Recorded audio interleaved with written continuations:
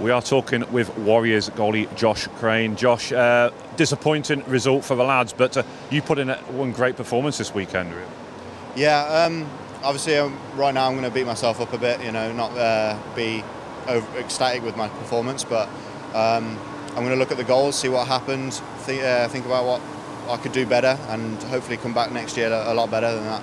Um, but really, you know, goals that there were sort of team goals. You know, we could everyone, anyone that could uh, really sort of do something, um, you know, maybe help out a little bit here or there. But uh, honestly, the team that we've had this uh, this entire entire year, I'd go to war with them again. Absolutely. You know, um, to come second, um, it's it's a good it's a good thing. You know, like coming second is it's it's not it's not losing. It is if it might feel like losing right now, but coming second is a good thing. You know, it's, it, it, it's something to be proud of, and I'm really proud that I did it with those boys in there, uh, and I'm really happy to be part of this team. So, yeah.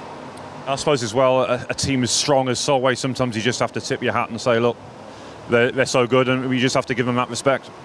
Yeah, um, sometimes you know people come up to me and be like, "Oh, sorry for that goal." Um, something like that happened yesterday, in the, with the one goal, and I was like, you know, they're a good team, and if they're not going to make chances, then they shouldn't be in this league, you know. So uh, that's a team out there that made a lot of chances. They, they do create good chances, and they did that today. And unfortunately, they got more past us than we got past them. Um, but yeah, I'm, I spoke with my parents just recently, and they said absolutely fantastic game to watch. And um, I hope the fans really enjoyed it. And it was absolutely amazing to have so many fans here, outnumbering any other team by two to one. That was absolutely fantastic and I can't give enough credit to the fans, especially the ones coming down and the ones coming down every single week. It was absolutely brilliant.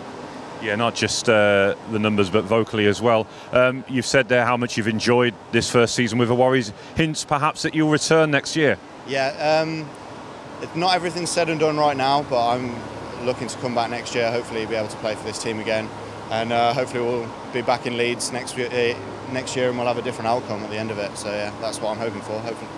Well, we certainly hope that's true. It'd be great to have you back, Josh. It's been uh, a pleasure seeing you play this season. Thank you very much.